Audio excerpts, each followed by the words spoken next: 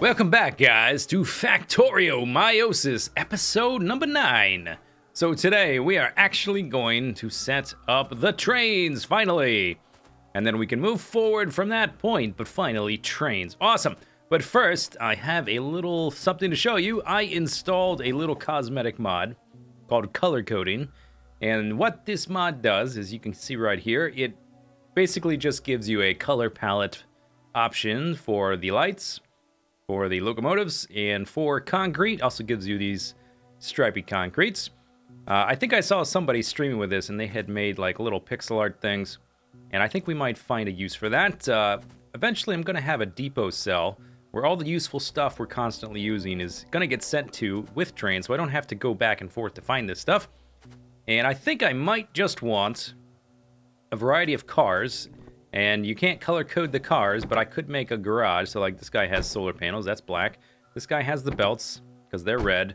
This guy has concrete, because that's gray. This guy has turrets, although he doesn't have any right now. This is the turret car, because uh, that's kind of bluish or whatever. The other day I did a live stream and we killed more aliens. That's the only thing I did on the live stream is just extend the cell. And I did try very briefly to run basically through the through the aliens, thread the needle if you will. And I constructed to do that to try I constructed six well, I guess four more or three more. I don't remember how many I had before, two or three, whatever. I have six total basic exoskeleton equipments now. I am quite quick. I think I'm actually faster than the cars. And so since I don't need them right now, let's just run. And actually on the, the concrete, the running speed is ridiculous. Yeah, okay, so that's pretty funny. We can run around zip zip pretty quick. So let's get to it. Let's set up the trains. First thing we will do is the coal train. A jazz uh, saxophonist. What did he play? Trumpet? I don't know. I don't. I don't follow jazz. Don't get mad at me for that. Oh wait, hang on. The whole reason I installed this mod before this video is so we could use color-coded trains. Okay, so this is going to be, guess what? Yeah, the coal train. Okay, uh, so let's actually, before we do that, before we do anything, we need to make sure that this guy only picks up coal, because he's going to be going to all of the different bases. Okay, that's not it. It's uh shift. No. Control? No. Shift right click. There. Oh, it's got to actually be in there. You can't just be holding it in your mouse. Okay. Uh, actually, let's do it this way. Uh, we can just tell him to go to coal cell, not brick cell, coal cell, and stay there. I think it's going to take like Probably just 10 seconds. Let's just say 15 seconds. Let's get in the train so we go with him. And does he not have... He doesn't have any coal. Might help. And I would like to time to see how long it takes to fill up this guy. Four, five, six, seven, eight, nine, ten, eleven, twelve, thirteen, fourteen. So let's just say uh, we'll have him stay for 20 seconds at this stop. And now we can do this. Yeah, it was middle. Because I was right the first time. I just was holding it in my hand instead of having it in the inventory when I did this. Need to make sure to do this so that uh, this train does not pick up any coal or any other thing like iron or copper or whatever at the other places. Okay, good. Seems to be working fine. Okay, so then next he needs to stop off, I guess, at uh, copper cell, and then iron cell, and then green circuit cell. Okay, and he's only going to be offloading a bit, but it's only going to be by one uh, offserter, inserter offloading. So we'll go to uh, copper cell. And uh, yeah, 20 seconds is probably more than we need. Let's do 15, because we have to think that the Trains can go a long time on coal, so the amount of coal that he can offload each trip, each stop for 15 seconds is way more than that train is actually going to need. Uh, and it will take a few rotations before this guy will fully fill up all of the uh, the chests, because I don't think he can hold enough for all these stops. Okay, so that's copper cell. Iron cell, same thing. And then green circuit cell. Same thing. Did I do that right? Copper cell, iron cell, green circuit cell. I think so. And they are 15, 15, 15. All right. Yeah, go for it, buddy. Do it. Do it to it. This guy's totally full. Okay. He's sitting here for the 20 seconds again, I think. Because I stopped the train and then we're starting it. Okay. Anytime you're ready. There we go. And off we go. Okay, off to the copper cell. We're basically, we're just filling up the these little four chests here. And I'm kind of curious, since I said 15 seconds, how full this will get. Okay, so it looks like we're going to dump at least eight stacks of copper, or coal. So that's plenty. That's actually overkill. In the long term, I could probably drop that down to uh, 10 seconds. But it's not that big a deal. We'll just leave it the way it is. Okay, there we go. It's nice to follow this around and make sure that uh, like all the signals are working and he's able to get everywhere he needs to go. He goes on the the route that I think he's going to go. Test the overall AI, that kind of stuff. And actually, we will get off here because we need to start our first iron train. Okay, so iron train is going to be just the default gray, I think. Okay. Two, three. There we go. Uh, so let's say we are going to start at the iron cell. And let's say 15 seconds for now, um, we might have to revise these numbers later, but for now, let's just say we'll do that. And then we're going to go to the green circuit cell for iron, the drop-off. And to unload should be the same. So I guess we'll see, though. It's, it's been a while since I set up a full train station circuit. And I don't have any coal. Luckily, there is some right here. So I'll just grab enough to start these guys. Let's get in him because we're going to ride him as well. Okay, and I'll just give him some of that. Okay, go for it. Iron Cell, first stop. These guys are totally full and backed up. There we go, yeah. Okay, pretty good. All these guys are going to switch back on because they've been backed up. My power was down to like in the 50s and now it's up in the 70s, but we should have enough solar panels to deal with this additional load. And we're going to be placing down some more rails and solar panels after this to expand down this way. Okay, here's the offload. Let's make sure that it fully unloads. Did it? I did not check to see that it fully loaded. Um, but this is, I'll, I'll go back and I'll figure stuff out later. Okay, so that looks fine. Let's actually stop here and make sure that all these belts are working properly. Yep, seems good. They should stop. Actually, I can get rid of this. If we ever decide to tile it further, though, I will need those belts there, so we'll just leave them, actually. Okay, so there is that. Here's the coal guy bringing another load. So these should be full by now. This is the second load. Okay, very good. Okay, so next, we need to set up the copper to come over here. And we will ride that one as well. So I'm going to get an orange diesel locomotive. There we go. And four of these. And this one is simple, just like the other ones. So we're going to go copper cell for 15 seconds, and then green circuit cell copper. 15 seconds, we'll ride this guy too. Make sure everything's going okay. There we go. Actually, uh, I might, well, I'll grab some more. Oh, go. On your mark, get set, go.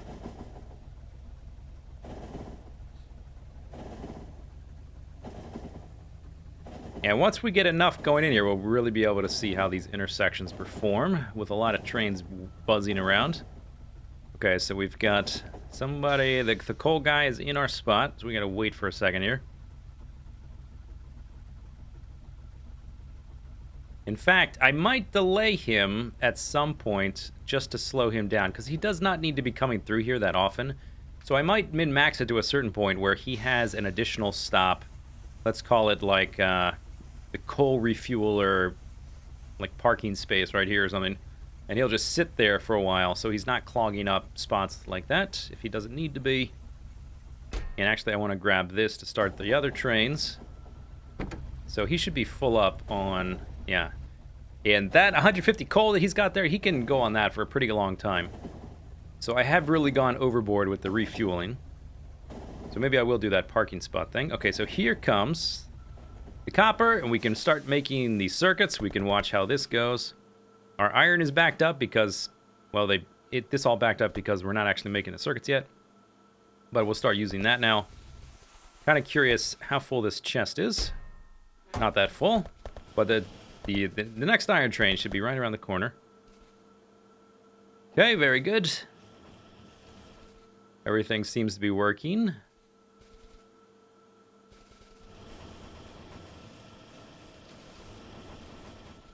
All right, producing a steady stream only on one side of the... Oh, no. Okay, I was about to say only on one side of the belt. That's rather peculiar. But I guess because uh, the ones on this side, the copper took longer to get down here because just because the belt's longer. It's asymmetrical in that manner, but after that happened, uh, this is fine. Okay, so this is loading up. Okay, so the next thing to do, we need to set up a another iron train. Okay, we'll go ahead and give you fuel. Okay, and you are going to go... Let's go ahead and get inside. You are going to go from uh, iron cell. Maybe we'll give you 20 seconds to load up. I'm not sure which is best. We'll figure it out. We're going to go from there to... What did I call it? The belt cell. Okay, belt cell iron. And unloading is probably... 15 is probably good. Okay, so you can go ahead and head off for that. And then after that, we got one more to do. then we'll be constructing all the stuff. And then we can start working on more rails. And uh, the next cells after that. Basically, what we need to do, we need a uh, an oil processing area, which I guess is going to be right here next to all these oils. There are no other oil wells nearby, not really. There's one, right there. But just the one, not really good enough. Okay, going swimmingly.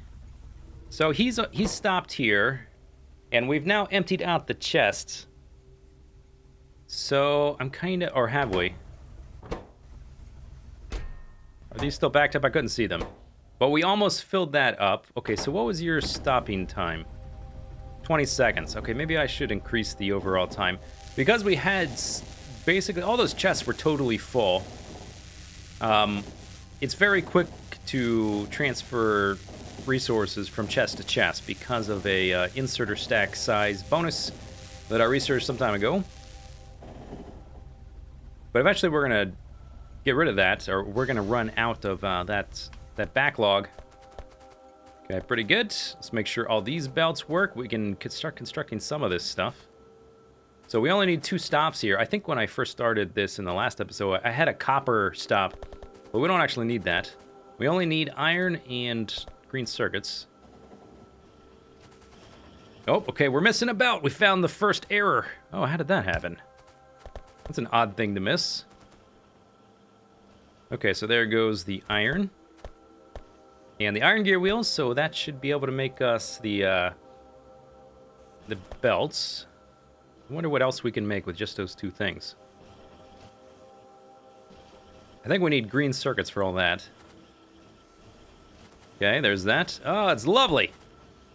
Okay, so uh, now that we've done that, let's go ahead and set up the circuit car. And that is going to be green.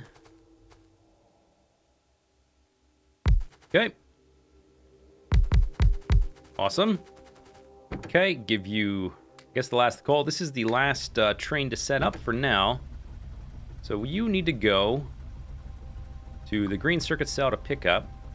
So that's going to take, let's just give you, uh, let's say 20 seconds. And then you need to come back to the belt cell green circuit. And you can offload probably in 15 is enough. And go. And then once we get back, we'll be able to make the rest of the stuff. And uh, that, yeah, then we'll be caught up and all the trains will be going. You can see some of these signals are turning blue, some are red.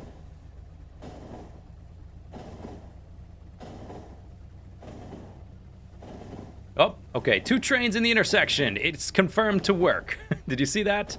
One train went through one side, one train went through the other side. And these chests are not nearly full, so this will actually be a good measure how fast we can actually load. And this thing actually, this is uh, not going to be bringing in materials as fast as our iron and copper cells because we have more belts. We've got a bazillion miners on those. We're not actually making anything, which is reducing your overall amount of sources. You go from, uh, when you make a green circuit, you go from one, one iron plate and one and a half copper to just one thing. And there's a lot of in-between steps, so...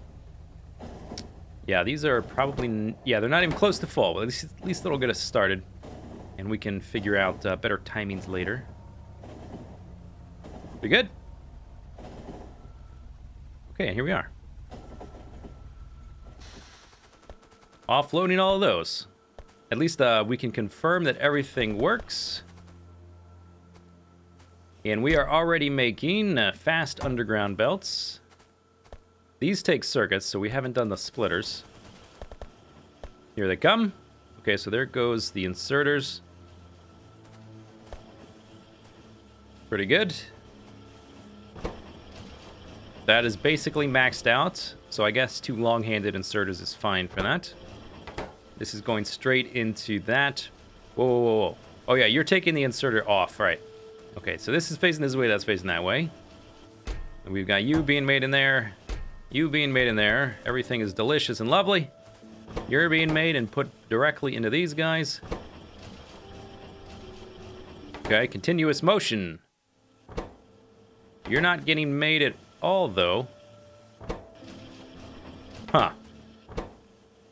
This one guy should be enough to support both of these. I wonder why this guy isn't doing anything. Huh. Maybe this is only enough to support the one. I thought it would support two. I thought I did the math properly, but anyway, we're making them. So all the logic works. Maybe my ratios aren't 100% accurate and the best. There's the fast transport belts. There's a train that has gotten back here before we ran out of green circuits. That's probably the most important thing. That we have a continual stream of uh, materials going into our construction system. Okay, pretty cool. I think we can call this a success. We've got trains. It's up and running. Hooray! So after setting all that stuff up, we have spiked up to 150 megawatt load. And that's without getting attacked. Oh, I should show you one other thing. So you see these green circles on uh, out in the water here. I saw some other players doing this, and I during the live stream I asked about it. Turns out this is not a mod or anything. This is a default vanilla part of the game. What this does is it shows you valid chunks that uh, where a spider or a spitter nest might spawn. Now this is water, so you're safe from that. Um, and the way you turn this on, you hit F4 and it'll bring up this huge, crazy debug menu. Tons of options. You want to go in the basic tab and you're looking for show enemy expansion candidate chunks. And that'll pop up the circles. That was relevant because uh, while I was expanding my wall, there were some enemies that had spawned in this gap here between uh, the wall here and all my stuff here. Enemies won't spawn within a certain distance of something you've built. Um, yeah, so, or, and I think they also won't spawn within a certain distance of their own bases or something like that. But uh, this little thing just removes all the um, ambiguousness. So you can tell exactly where they're going to spawn. I don't need it right now, but it was useful then. I thought I would mention it. And uh, there's more debug things you can do there. You can turn on the pathing for aliens. It's really trippy. It's like playing Geometry Wars almost.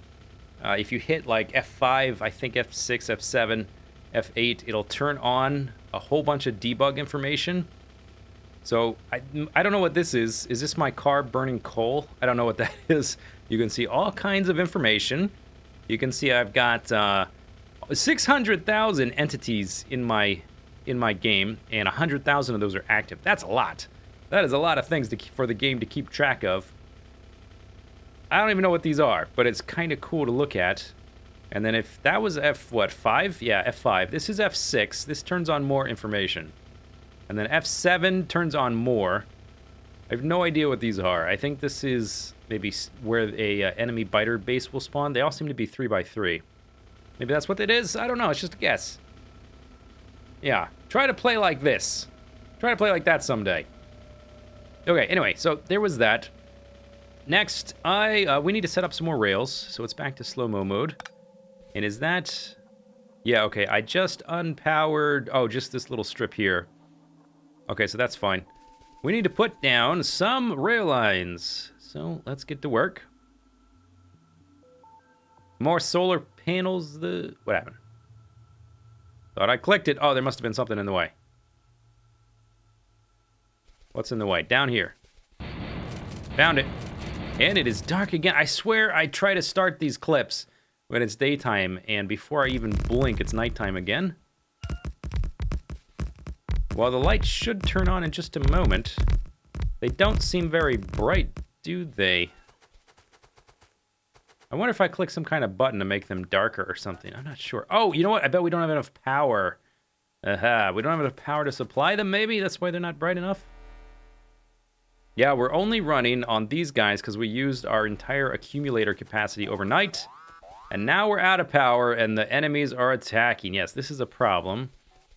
Uh, this is why we need more solar panels and accumulators. And also, we need a bigger safety net of uh, steam engines.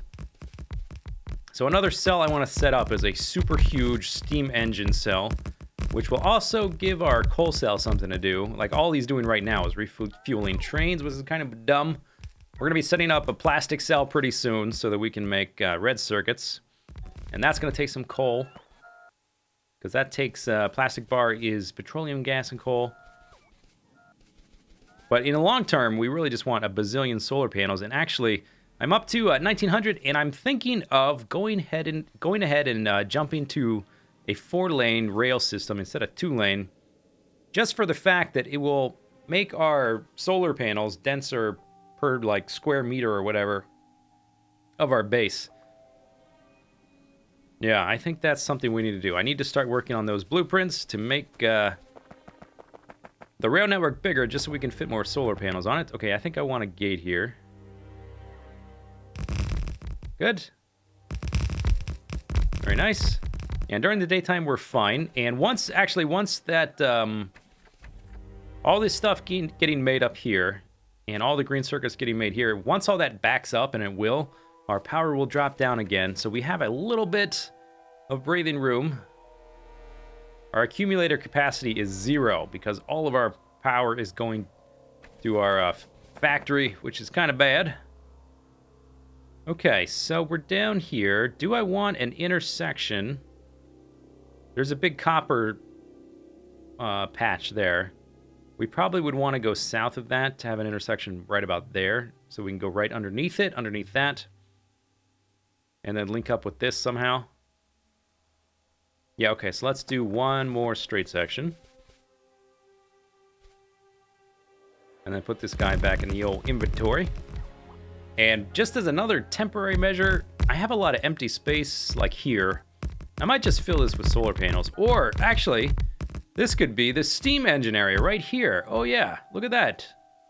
Okay, let me just make sure I've placed all this. We'll go take a look at that location, see what it's, uh, see what it looks like.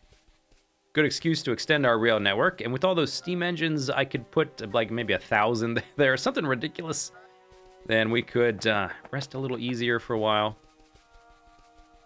And these guys, this line is not actually power anything. This is just keeping a biter nest from spawning there. All right, let's drive over there. I guess that'll be the end of the video. And uh, next time we will start work. Ow! the number of times I ran into wall. That's why, by the way, I've got these little walls here. Partly for cosmetic function, partly to prevent me from exploding these these things by ramming into them yeah, we have all this lake, and I was trying to find a nice section of water without big ore patches everywhere to uh, put our our first steam engine complex. Almost hit a tree there. That's all right. I can blow right through these trees. No big deal. Like this. Oh, I missed it. And one area I did kind of have in mind was here, because there's not much there. But we've got all this, and there's nothing here. So I think next time we will we we're gonna make the the steam engine area, and we're gonna have to have uh, a way for the train to get down here. And then we will start work on the uh, the oil oil refining cell. I think that's what we'll do next time. Hope you guys enjoyed the video. We'll see you next time. See you later. Bye bye.